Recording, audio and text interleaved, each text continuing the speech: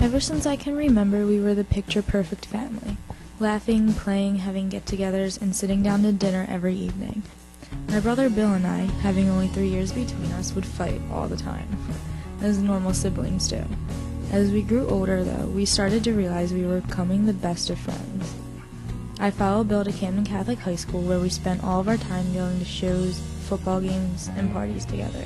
We tried getting out of the house as much as we could because there were things going on at home that we did not yet understand. When things were at their worst, my freshman year, Bill would drop everything to get us out of the house.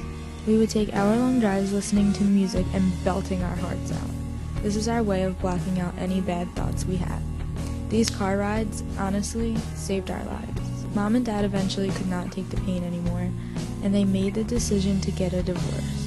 As upset and angry as we were, Bill and I knew it was coming. Unfortunately for me, that time came around the same time Bill was leaving for college. Moving three hours away, his new way of dealing with the situation was to avoid all contact whatsoever, even with me.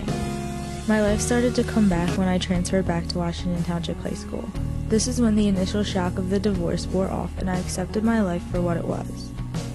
Since then, I make the most of every day, never anticipating that something bad is just around the corner. Bill comes home now almost every weekend.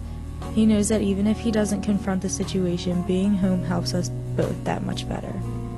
Almost done school, Bill will be forced into the real world, and sadly, part of our real world is not having mom and dad together. Knowing this, I am looking out for Bill, the way I know he would have done for me if he stuck around. Grasping life can be a bit of a challenge, but doing it together always makes it that much easier.